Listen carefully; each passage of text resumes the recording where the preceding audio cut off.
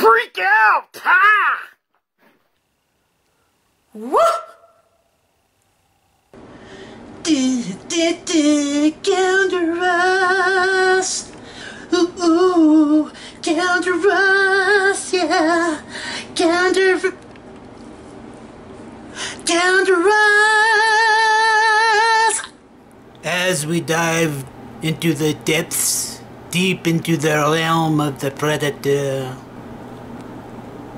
we take notice of potential prey being lulled within the calm of the reef. Enter the lone predator who catches the signal of prey wafting throughout. The beast is horrendous, its gaping mouth synonymous with all that is grotesque in the animal kingdom.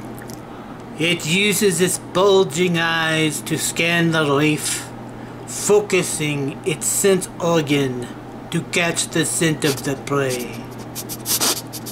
Despite its bulging girth and pronounced presence, the predator does not immediately rush in. It cautiously circles, to, to fro, fro, to tutu. I said tutu. Sorry. As the play lies blissfully unaware, after dialing in the sensory overload, the beast can't help but to strike. The attack is relentless. Viciously, the jaws sink into the unaware prey. There is no escape for the unwary. In slow motion, we marvel at the daring power that stems from the jaw. The prey is mercilessly consumed.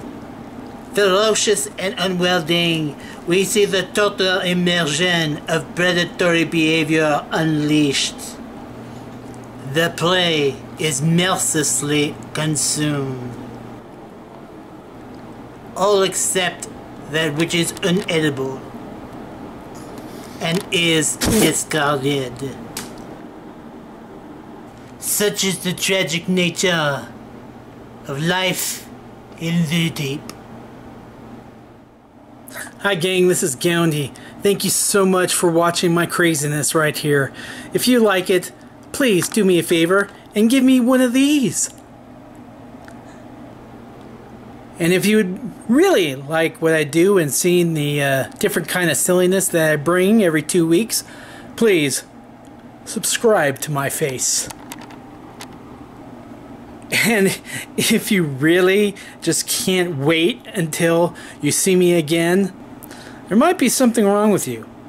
But I love you anyway. So ring that little bell. So you know every time I put up something off the wall.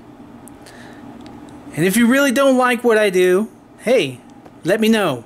If you're really just going to get mean and nasty and break my heart and all that, then just hold it inside, you know, just don't say anything because I really can't take it right now.